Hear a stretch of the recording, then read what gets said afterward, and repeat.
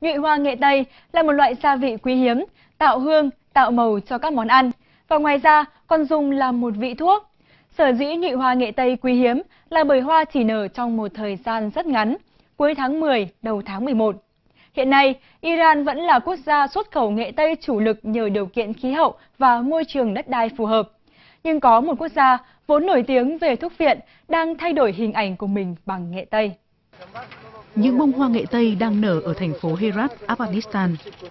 Đây là vùng trồng nghệ Tây mới phát triển ở địa phương vốn nổi tiếng về thuốc viện này. Chính quyền và người dân thành phố đang hy vọng nghệ Tây sẽ giúp họ giải quyết được nạn trồng cây thuốc viện, vốn là loại cây trồng mang lại thu nhập lớn dù phi pháp. Chính bởi vậy, cần phải có một loại cây trồng mang lại lợi nhuận đủ cao mới có thể hướng người nông dân ra khỏi nghề trồng thuốc viện. Nghệ Tây là một trong những loại gia vị đắt đỏ nhất thế giới. 1 kg trên thị trường các nước phương Tây có giá tới 1.500 đô la. Giá cao chính là một yếu tố thu hút những người dân nghèo trước đây chỉ biết trồng thuốc viện tham gia việc trồng nghệ Tây. Ông Mohamed Ibrahim, 65 tuổi, là một trong những người tham gia đầu tiên. Trồng nghệ Tây là công việc hợp pháp và lợi nhuận rất cao, rất tốt so với trồng thuốc viện.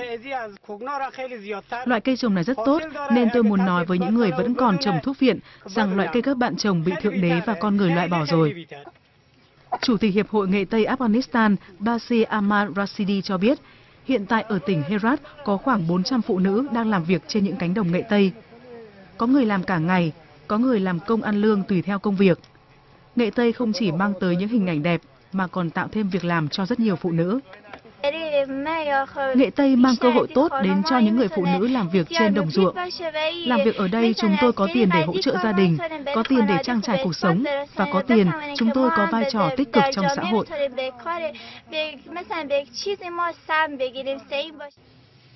So với năm ngoái, sản lượng nghệ Tây xuất khẩu năm nay tăng 15%. Với 3.000 hecta ruộng trồng nghệ Tây, tổng sản lượng của vùng năm nay là khoảng hơn 8 tấn. Đơn hàng nghệ Tây của chúng tôi năm nay tăng mạnh và chúng tôi được khuyến khích tăng trồng. Dự kiến năm nay sẽ là 8 tấn và sản lượng năm nay cao hơn năm ngoái. Nghệ Tây là loại cây màu đã có mặt ở Afghanistan ít nhất 2.000 năm. Khí hậu khô là điều kiện lý tưởng nhất để trồng loại cây này. Việc thu hoạch hoa của chúng để làm gia vị cũng đòi hỏi nhiều công sức, dù chỉ là công việc tay chân đơn giản. Phải hái nghệ Tây lúc trời còn nắng, ngắt lấy nhụy hoa nhưng lại không được để nắng chiếu vào sẽ làm mất hương thơm đặc trưng của hoa. Mùi hương đó và màu vàng của nhụy hoa chính là thứ làm nên giá trị cho loại gia vị này trong chế biến thực phẩm.